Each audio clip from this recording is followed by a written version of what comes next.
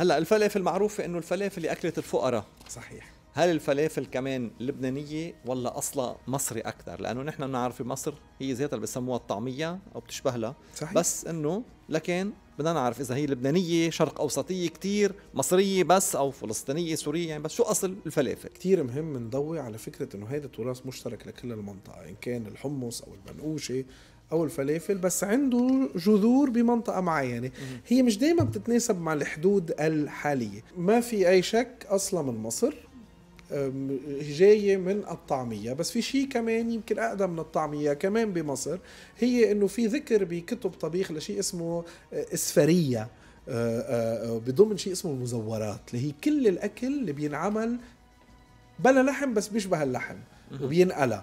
بيسموه المزور إنه هو منه لحم وبيحطوه عادة بكتب الطبيخ بوقتها كأكل الصيام للمسيحيين. فممكن كمان يكون هالفلافل يكون شيء طوروه الأقباط بمصر لا يستهلكوه بفترة الصوم ما. ننسى الأقباط ما بيصوموا 40 نهار بيصوموا أكثر بكتير لعيد الفصح. ففي ضرورة لأنه يكون في وصفات لفترة الصيام. من هالوصفات طلعت الإسفرية طلعت بعدين الطعمية ووصلت من مصر على آه، الشرق المتوسط على لبنان وعلى فلسطين وعلى سوريا وهون تسمت فلافل أي كرات صغيرة. هلا في في التسمية إنه جاية من فول كثير بس لا نحن ما في فول. شو عملناها ببدل فول شو عنا بدل الفول؟ نحن الحمص. حمص فحطينا حمص.